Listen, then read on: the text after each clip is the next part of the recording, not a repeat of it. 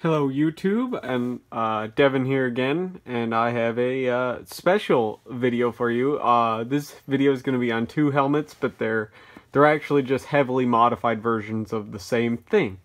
Uh, what you have before you uh, have before you here is on the left you have an ACVC helmet, and on the right you have a DH132A CVC helmet.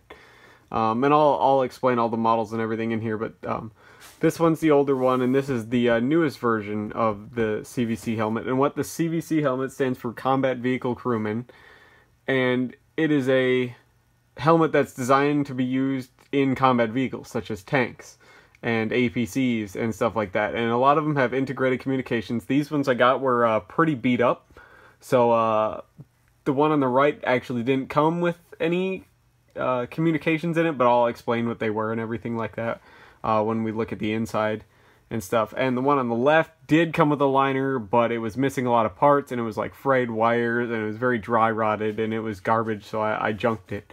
I junked the liner out of it, and I'll probably just convert it into like a, a Soha helmet. And I have quite a few of these actually, and quite a few of these as well. So, but um, we'll get into this now. The combat vehicle helmet, uh, the DH-132, which is this family of helmets, was designed by Gentex in 1973 to replace the T56 series of helmets that had been kind of used since like Korea, post Korea. Um, before that, tankers used like leather football helmets pretty much in tanks. So, so this was kind of the first modern helmet uh, to be used by combat vehicle personnel made out of composite materials, really. Um, now the D the DH132 came out and it was just a very thin composite shell um, offering minimal bump protection. It was pretty much, if you bumped your head too hard, you could crack the shell on it. And it was pretty much plastic. Um, it was about as what you would picture an M1 liner, like an M1 helmet liner. And uh, then they came out with the the DH uh, 132-A, which is this, which has a, a little bit thicker shell, as you could tell. It's about twice as thick as an M1 shell, and it's made of composites, and it provided a little bit a little bit better protection as far as bump and stuff like that goes. And then uh, they came out with the DH-132B, and the DH-132B was provided to like tank commanders and spotters and stuff, people that had to expose themselves out of the tank, and that was a an actually thick one. It's like as thick as this one is, which is pretty much twice as thick as this one. And what that was for is it actually was bulletproof. It I was actually pretty much uh, PASGT with the ears cut off.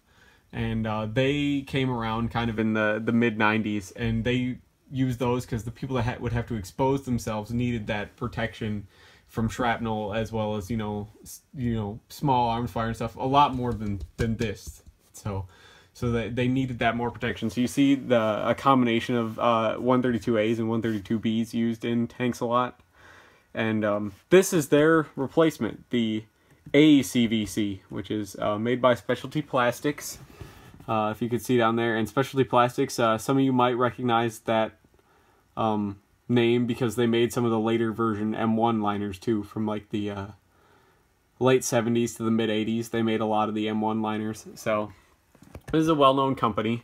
And um, it has a little bit mm, bit of a mounting difference. Now these um, had a liner that was held in place by these this one strip of Velcro and uh, these two points up here.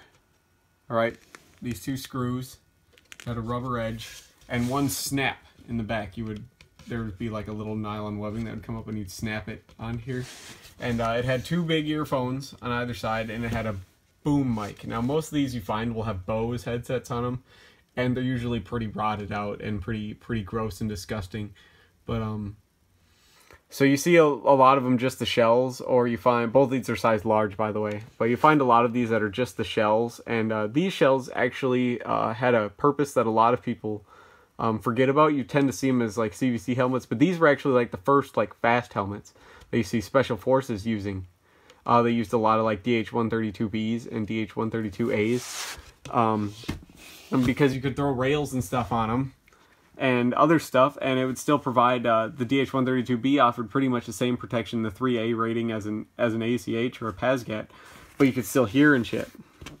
So, and you could throw rails on it, and you could drill holes for four point chin strap, and made it a lot more stable. And it was just it was just an all around better option for special forces. So these are essentially the first special forces helmets as well, even though they weren't purpose built for that. A lot of them got converted.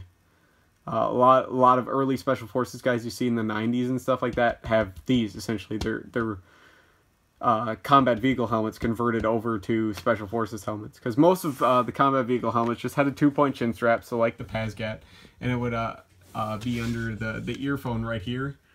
There'd be like a little hook down here, like a snap for like a PASGT type chin strap, just two point.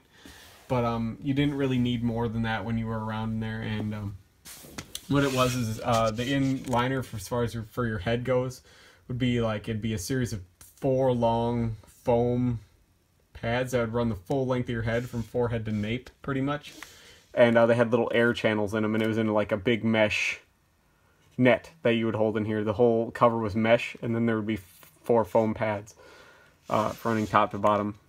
Uh, that's how that one looked in and they changed it up in the don't mind that big ACH top pad in there. Um, I'm working on restoring this one and converting it over into like a gunfighter helmet. Um, but they changed a lot of stuff with the ACVC, and the ACVC went to like kind of an ACH style pad system.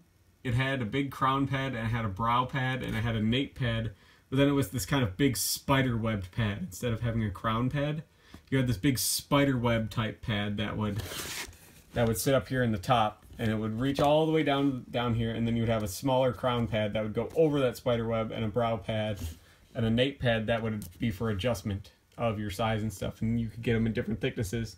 And their uh, com system instead of hanging loose would hang on these would route over these little plastic arms. So you could adjust how they would slide in here and stuff like that and they were clipped in the back. So that snap now became adjustment for your earphones and stuff like that and uh, also to keep you from bumping your face and stuff because they realized when the the gun would recoil and stuff people were, were getting hit in the face not necessarily like directly to the point where it would kill you but just the tank shaking around would cause you to kind of bump your face. So they added this face mask on there. But other than that it was pretty much the same thing as this except now the liner has a little bit different. It's not a big mesh crown pad and the earpieces are all in one. The earpieces were separate from the mesh from the from the actual pads.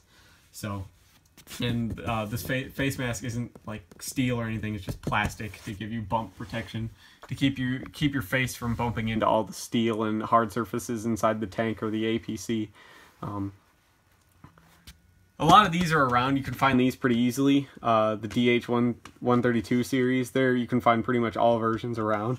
Uh, the ACVCs are harder to find especially complete and especially with all of these plastic parts intact a lot of these tend to be broken or missing.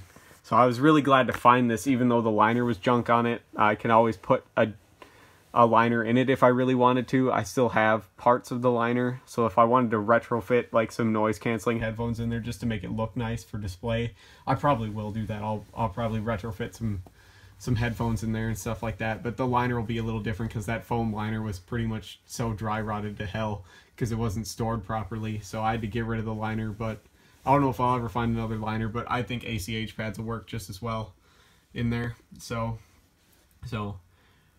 But I figured you guys would want to know something like this, something about a lesser known helmet despite how common they are and how long they were used, because they, the DH-132s have been in service longer than the PASGT and the ACH combined.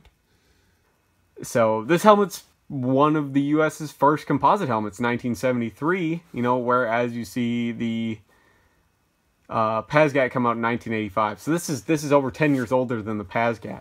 Uh, the first DH-132s are, and so it's it's not not a lot is known about them unless you were a tanker or an a armored personnel carrier or a driver of some sort in combat. You don't really know that these exist. So I figured I'd do a video on them and uh, hopefully get some information out there. And I hope you guys enjoyed this. I don't know a ton of history between all the models and different versions of this helmet because there's ones that a lot of these helmets were contracted out to different manufacturers. A lot of the parts come from different manufacturers. There's there's like seven different headset manufacturers that I know of all by myself.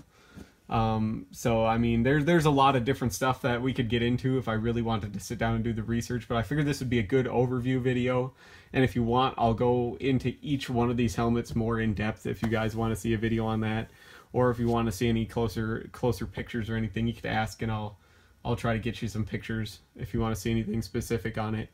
Um, but till then, uh, please leave a comment if you want to continue on the subject or just to show appreciation, or if you want to see any different kinds of helmets or any different kinds of videos in general.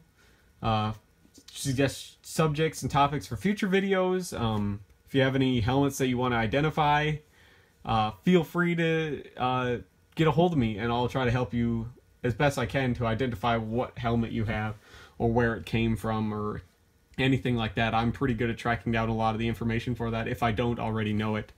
Um, so uh, please also uh, spread the word about the channel. We're at like eight subscribers, which is which is great. I, lo- I love you guys so much. Uh, you you comment on videos a lot, and I, I really like I really like that. I like feeling the support and stuff like that. And uh, but I'd like to get some of this information out there for more people. It doesn't it doesn't help me if it doesn't go anywhere.